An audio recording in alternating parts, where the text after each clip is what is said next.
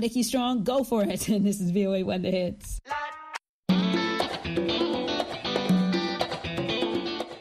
Welcome to Learning English, a daily 30 minute program from the Voice of America.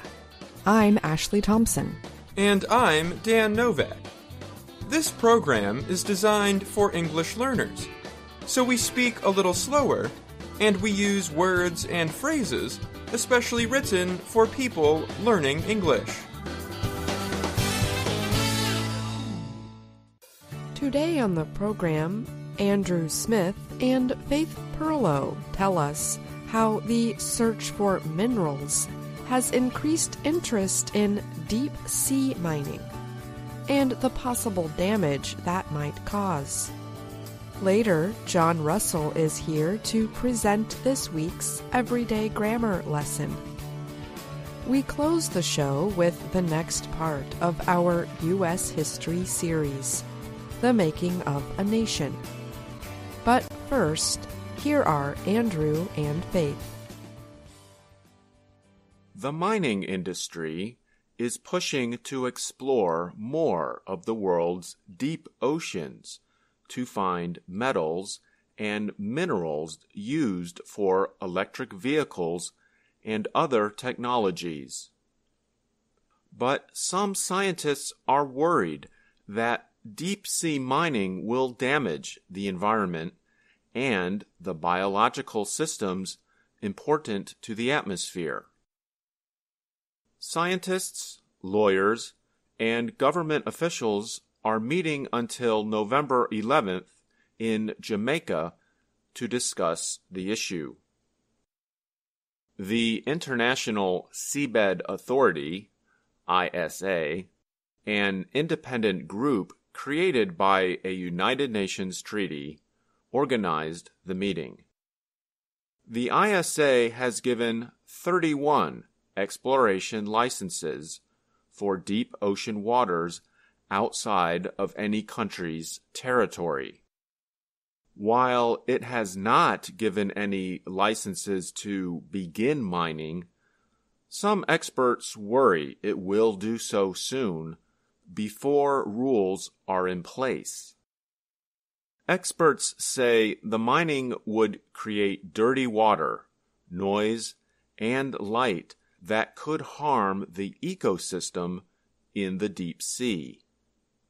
They also note that scientists do not know a lot about the deep sea and need to learn more before making decisions about mining.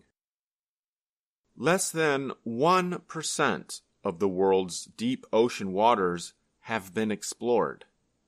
Most of the current exploration activity is in a large region between Hawaii and Mexico. Mining companies argue that deep sea mining is less costly and causes less damage than mining on land. The International Energy Agency estimated that demand for minerals will increase six times by 2050. A report from Fitch Ratings that was released in October said demand will increase because electric vehicles and renewable energy technologies need minerals found in the sea. Nauru, a small island northeast of Australia, is leading the push for mining. It hopes to financially gain from the mining for minerals that are used in technologies such as electric car batteries. But officials in other countries are worried about the effects of mining and are pushing for new rules. We are still very concerned about the consequences, said Elsa Moreira Marcelino de Castro, Brazil's representative at the meeting. French President Emmanuel Macron said earlier this year that he supports a ban on deep sea mining. Germany, which has two exploration contracts, announced on Wednesday that it would not sponsor such mining at this time. New Zealand, Fiji, and Samoa want a ban on the mining until more is known about its possible effects, a move supported by some scientists and legal experts. The ocean holds more carbon than the Earth's atmosphere, plants, and soil. And scientists are finding new kinds of plant and animal life during exploration trips. Diva Amon is a marine biologist. She said studies take months or even years to complete. We do not understand what lives there, how they live there, the global function that this ecosystem plays, she said. She added that because minerals grow only 1 to 10 millimeters every million years, the deep sea is slow to recover from damage.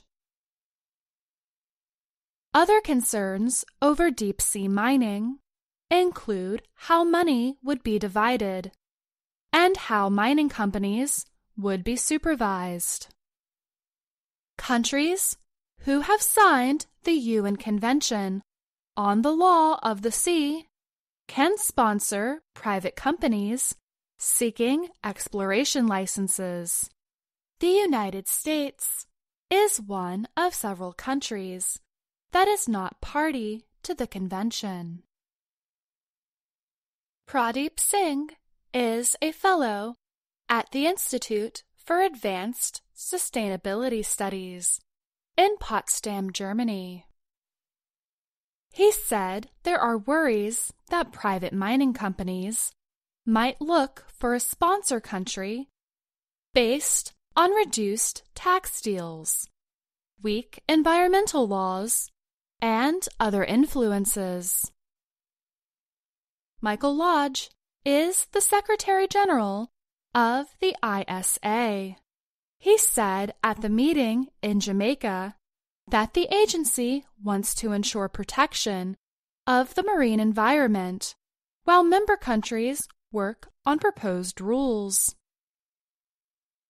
I'm Faith Pirlo. And I'm Andrew Smith.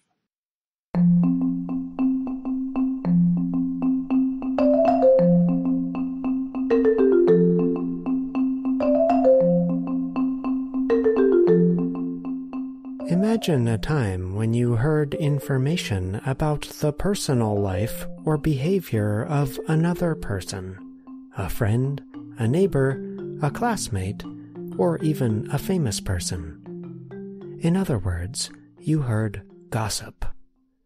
What kinds of terms and structures do English speakers commonly use to gossip? Let's start with a few important terms and definitions. Gossip is information about the personal lives and behavior of other people. The information can be either correct or incorrect. While many people have a bad opinion of gossip, at least when they are the subject of it, the reality is that most people join in it from time to time. English speakers commonly use a few verbs when gossiping these verbs often connect with the senses, such as hearing and seeing. For example, I heard that Tom got into trouble. Sally said she saw the police arrest him. In the example, we have the past forms heard and saw. Note that the speaker is telling information about Tom's life and possible behavior the speaker did not actually experience the events. In our example, the speaker reported something. This is a general way that gossip spreads. One person says or tells something to another person. As a result, verbs that describe speaking, such as tell or say, are commonly used in gossip. Consider these examples. Sally told me about Tom's troubles. Sally said Tom has been getting into trouble. Gossip often makes up part of a larger discussion. As a result, speakers often bring up the subject of gossip by asking a question. The helping verbs do and have play an especially important part in these questions. This is because these helping verbs are used to create yes or no questions. Let's explore one common structure do or have plus subject plus main verb plus the rest of the sentence. For example, Did you hear about Tom? Have you heard about what Tom did?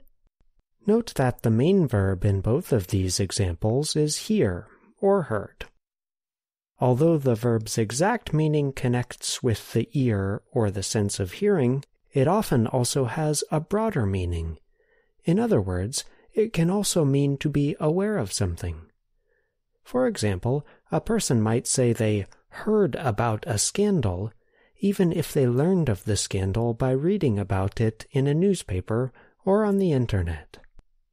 Let's take some time to work with these ideas. Use the verb hear to talk about a famous actor's divorce.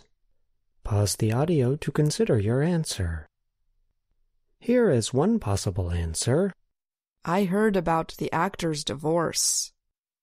Now form a question about a person named Sally. Be sure to use helping verbs such as do or have. Pause the audio to consider your answer. Here are two possible answers. Did you hear about Sally? Have you heard about Sally? The goal of today's report was not to make you want to gossip. Rather, the goal was to get you thinking about how grammar connects with a common subject of discussion. The next time you listen to English speakers, perhaps in a movie or show, pay careful attention to how they share information. And if you notice questions such as, Did you hear about? or Have you heard about? then you might want to prepare yourself to listen to some gossip. I'm John Russell.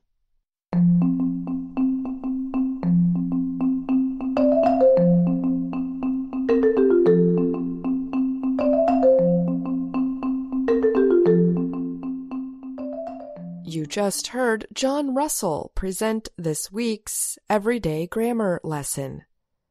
Now, John joins me on the show to talk a little more about the word gossip. Hi, John. Hi, Ashley. Great lesson this week. Thank you. I hope our listeners enjoyed it too. I noticed in your report you used gossip as a noun and a verb. Gossip as a noun means information about the personal lives or behaviors of other people, and gossip as a verb means to spread such information. But what are some other ways gossip can be used? You can call someone a gossip if they talk about the private details of other people's lives a lot. For example, Ted is such a gossip. He's always talking about his classmates' personal business. You can also use the word gossiper instead. You might say, Ted is such a gossiper. Finally, the adjective form is gossipy. You can use gossipy to describe a person who likes to gossip or a publication, like a magazine or website, that writes a lot about the lives of famous people. Thanks for taking the time to explain gossip to us, John. And thanks for joining me on the show today. You're welcome. See you next time.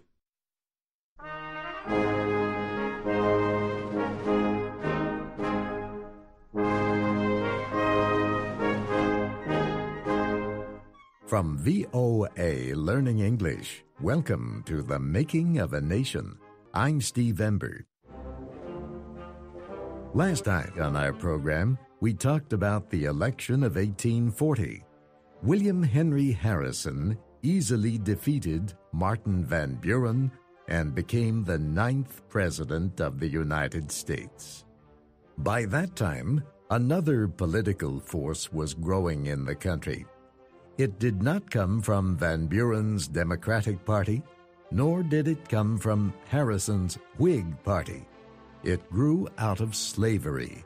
The dispute over slavery appeared to have been resolved for a time. A political compromise in 1820 kept a balance between slave and non slave states. The compromise also barred slavery in the northern part of the Louisiana Purchase. But during the 1830s, the issue of slavery rose to the surface again. A major reason why the dispute came to life again was cotton. Cotton plants grew in many fields across the southern states. Black slaves planted, picked, and took care of the cotton crops. They also had other duties on southern farms. Northern ships then carried southern cotton to the markets of Europe. Manufactured goods needed in the South came from the North. The situation deeply troubled the political leaders of the South. They worried that cotton made their states economically dependent on the industrial North. What made things worse was the fact that most federal spending on public works projects went to the northern states. Then there was the old dispute over import taxes. Taxes on foreign goods mostly helped the manufacturers of the North. The taxes were to be lowered in 1842 but that was still years away. No one could be sure what would happen then. Such were the general political and economic conditions in the United States when the abolitionist movement began to make itself known. Abolitionism was an effort to end slavery and the slave trade. At first, religious groups organized the abolitionist movement. Then, in the 1830s, anti slavery societies began operating in New York and New England. Many abolitionist groups published newspapers, pamphlets, and booklets. They flooded the country with anti slavery petitions. Abolitionists believed slavery was evil and that there could be no compromise with evil. They did not like the idea that slaves should become free slowly over time, and they did not think slaveholders should be paid to free their slaves. They just wanted all slavery to disappear immediately. They were regarded as this wild eyed, fanatic group on the far left inside of the anti slavery movement. People who were willing to do anything, radicals, they would upend society. This was the view that the people had of them. Howard Jones is an historian. For many years, he taught at the University of Alabama. He says the abolitionists did not have much popular support. In the South, slavery was not a question of right or wrong, it was a question of survival. Some Southerners believed that without slavery, their whole economic system would lie in ruins.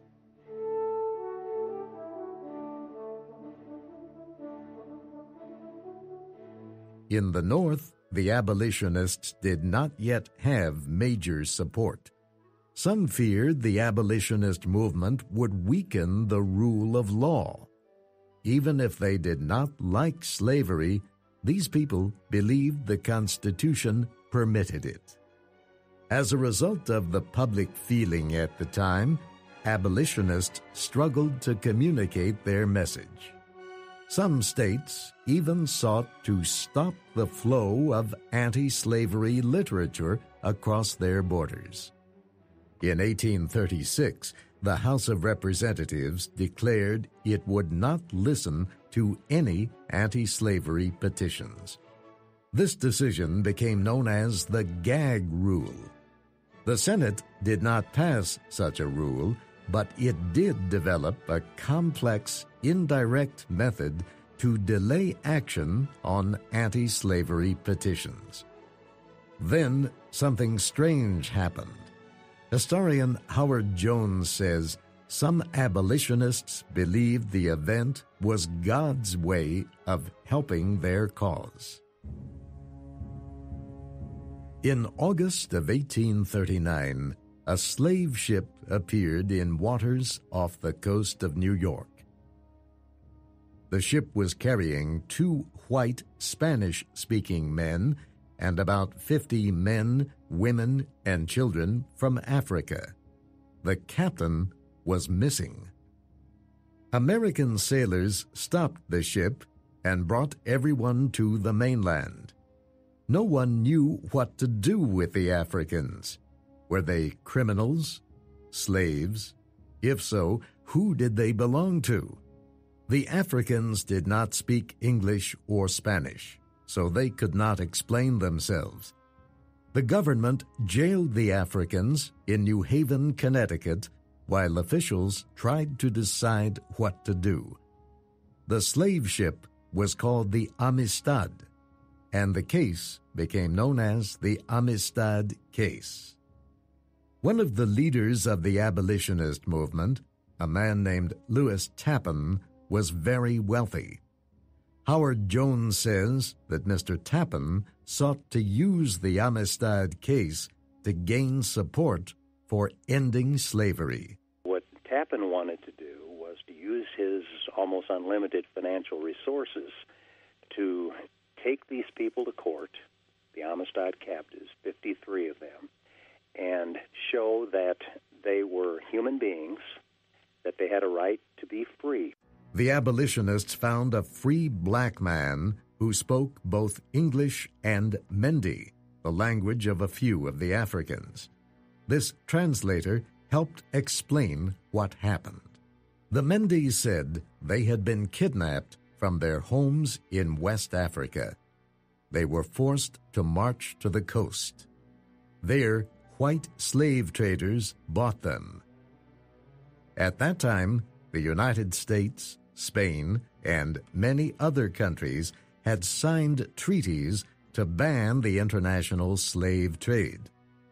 The United States had also made buying slaves from Africa illegal but the government did not enforce the law. A Portuguese ship brought the Mende and several hundred other captured Africans to Cuba. Many died of sickness, starvation, or beatings on the long trip across the Atlantic Ocean, which was called the Middle Passage. Those who survived were brought to a market in Havana. Cuba was a Spanish colony at the time.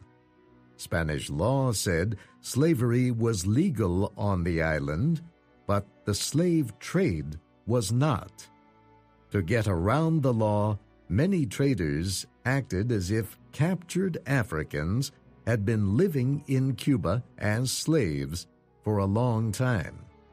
For instance, one of the young Mende men was named Sengbe Pie, Two Cuban middlemen bought him and about 50 other men, women, and children for farms on the other side of the island. The middlemen wrote his name in their records as Joseph Cinque. They gave the other Africans Spanish names too, so it would seem like the Africans had been born in Cuba. Then they loaded the group onto a ship called the Amistad, a name that means friendship in Spanish, and chained them below deck. Historian Howard Jones says the Amistad was like a taxi. It would transport slaves wherever you wanted them to be taken. Now, they weren't really slaves. They had never been enslaved, but they were called that at this point. That's a critical issue in this whole thing. A few nights later, Sengbe Pie and some of the other Africans broke free. They found weapons and waited until sunrise. The next morning, Pie and his shipmates killed the captain of the Amistad and the cook. Two crew members escaped. The Cuban middlemen were the only white people who remained. The Africans said they would let the Cubans live, but only if they brought the ship back to Africa.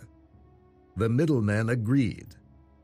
During the day, they sailed the Amistad southeast, but at night they turned the ship northwest toward the United States, hoping to arrive one day in a friendly southern port. Nearly two months later, the food and water on the Amistad were gone. Several of the Africans took a small boat to land to get more supplies. The captain of a government ship saw them. He brought the Africans and the Amistad into port in the northern state of Connecticut. The Cuban middlemen told their side of the story. They said the Africans were slaves who had revolted and claimed the ship's passengers as property. The Spanish government agreed with the middlemen. It demanded that the ship and the Africans be returned to Cuba. Spain's queen said that Spanish law would decide what happened next. Martin Van Buren, who was president at the time, liked the Spanish idea. He did not want to cause problems with Southern voters and politicians. He wanted to avoid the issue. But it was too late. The captain of the government ship said the Amistad and the Africans on it belonged to him. He said he had found them and he had a right to sell the Africans as slaves. The captain gave the middlemen permission to go, and he gave the Africans to the U.S. government to decide the case. The charges against the Amistad Africans were serious. They were accused of being murderers and pirates. If they were found guilty, they could be enslaved for the rest of their lives or put to death. But the abolitionists claimed the Amistad Africans were something entirely different. They said the Africans were captives who had been kidnapped illegally. The Africans should not be punished, the abolitionists said, but returned to Africa. Historian Howard Jones says the abolitionists looked forward to presenting the case in court. They also hoped Sengbe Pie and the others could help with their communication problems. They wanted the Amistad Africans to tell Americans what life in Africa was like. Than that, what it was like on the dread African slave trade, that middle passage, those thousands of miles of crossing the ocean to the New World. And then, by extension, throw a dark light on what slavery was like itself. I'm Steve Ember, inviting you to join us next time for The Making of a Nation American History from VOA Learning English.